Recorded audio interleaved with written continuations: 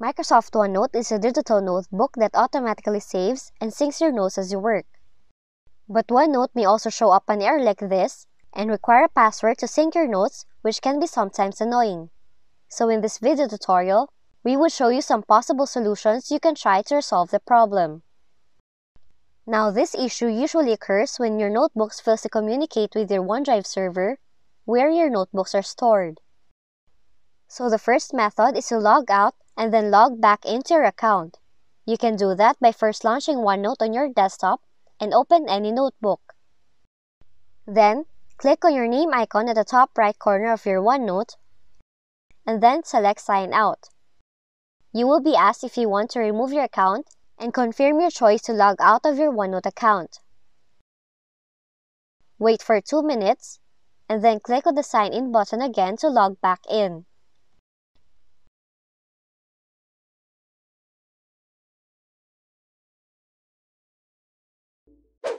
Now if that did not work, you can try the next solution which is clearing the Microsoft account credentials from the Credential Manager. All you have to do is type Credential Manager in the Windows search bar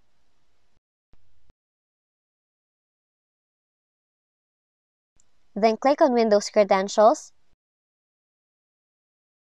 Find the generic credentials. Then select this and then hit Remove. Restart your computer and sign back into your OneNote and check if the issue is gone. The next possible solution that you can try is to clear the cache folder. And you can do that by opening your File Explorer, navigate to Select Users, your username, choose App Data, select Local, click on Microsoft, select OneNote, and then choose 16. Then delete the cache folder by right-clicking and then select Delete. After that, you have to restart your OneNote. Now, the last method that you can try is to repair Office. And you can do that by going to your Start menu and type Control Panel.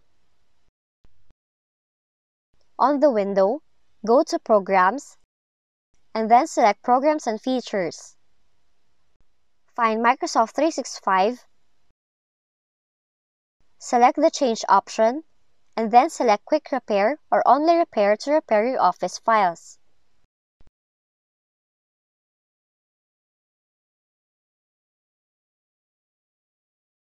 Once finished, see if the error no longer appears when opening your OneNote application.